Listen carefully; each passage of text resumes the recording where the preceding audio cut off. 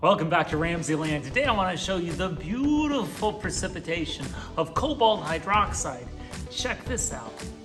So all I'm using in this double displacement precipitation reaction is cobalt chloride, sodium hydroxide, one graduated cylinder with 80 milliliters of distilled water, and another graduated cylinder with 300 milliliters of distilled water, a spoon, a petri dish, and a dropper.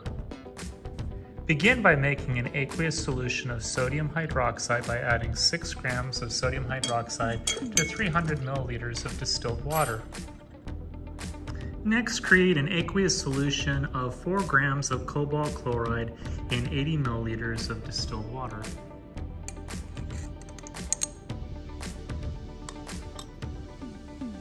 Okay, now check out the amazing blue precipitation of cobalt hydroxide as I add sodium hydroxide, which you can see is clear, to my cobalt chloride solution. It's gonna change really dramatically.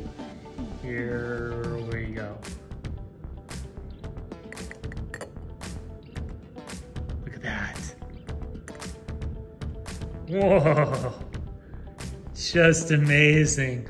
Look at that beautiful blue cobalt hydroxide. That insoluble precipitant, check it out. Just amazing.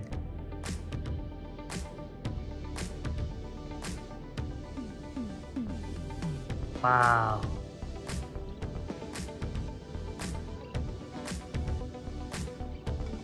Okay, I wanted to see a micro scale of this in a Petri dish, so I'm gonna do the same thing, only really close so you can see it just in a Petri dish. Here we go. Look at that. Another drop. Just instant precipitation of cobalt hydroxide. Beautiful blue.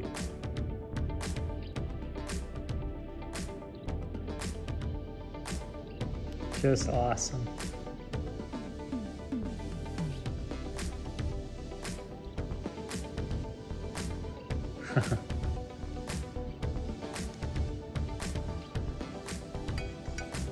Here's a few more drops in a graduated cylinder.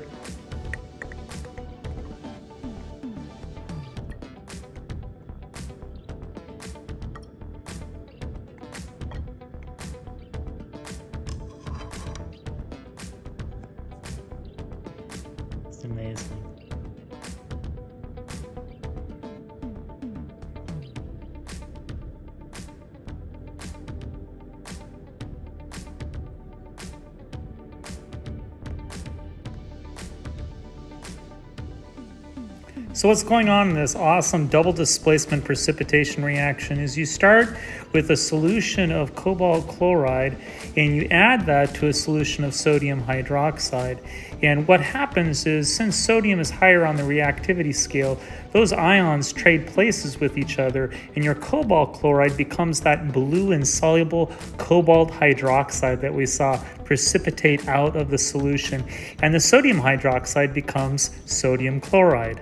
Well, I hope you enjoyed today's edition of RamZland, and I'll see you next time.